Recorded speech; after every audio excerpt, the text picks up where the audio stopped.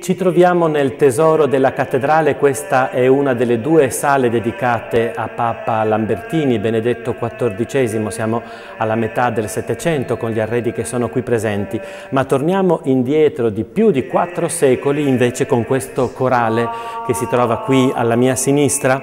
Si tratta di uno degli antichi libri eh, corali della cattedrale, uno dei più antichi, siamo nel 1300.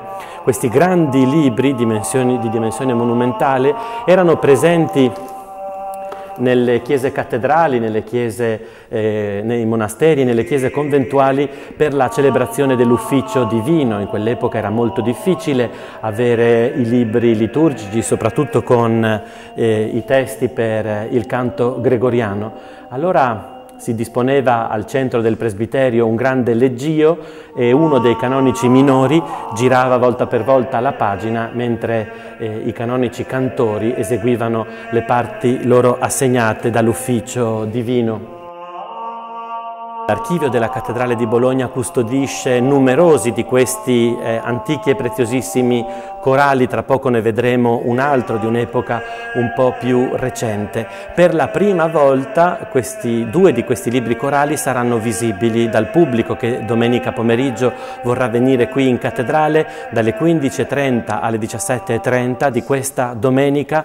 Eh, il tesoro della cattedrale sarà aperto come ogni domenica, ma in questa domenica in particolare avremo una sorpresa. Saranno esposti due libri corali e ci sarà anche il coro gregoriano che direttamente da questi antichi codici eh, eseguirà eh, alcuni brani dunque di questi antichissimi repertori.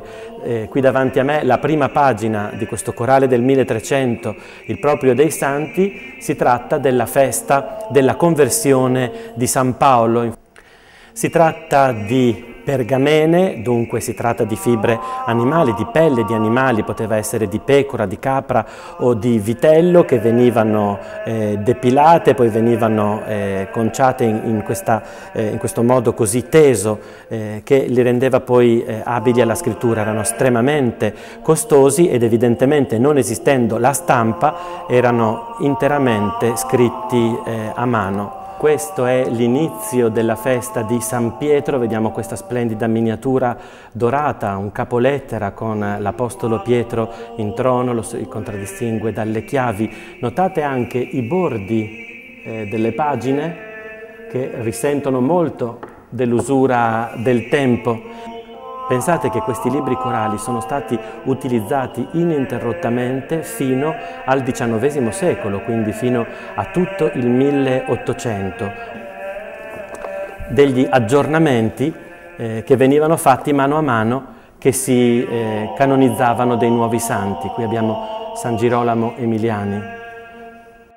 Questo è il corale N, un'acquisizione successiva, siamo già nel 1600, dunque anche le tecniche di scrittura e di, e di, decorazione erano molto cambiate. Si tratta di un antifonale, cioè di un libro corale che raccoglie le antifone dei giorni comuni della settimana. Guardate lo splendore di questa eh, raffigurazione